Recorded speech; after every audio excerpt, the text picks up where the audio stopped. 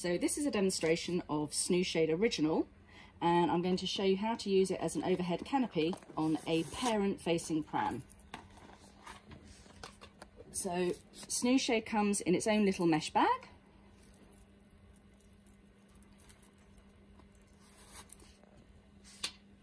And this is the SnoozeShade Original, which is designed ideally for 0 to 6 months. And what we're going to do is we have got the sun on baby, or teddy in this case, and we are going to literally put the SnoozeShade over the top of the pram and then pull it over the handlebars. Now, that actually may be good, good enough. So SnoozeShade Original has six sets of straps. It's got three on each side.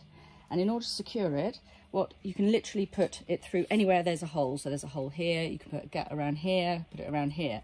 Now the other thing you can do is because they are stretchy, uh, you can actually double wrap them and that gives a really secure hold. So I'm just going to show you how that works here.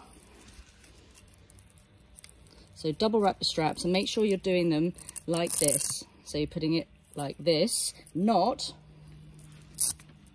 like that. Because like that, it comes off really easily. Like that, it's really a uh, good strong hold. So I'm just going to turn the pram around and show you again.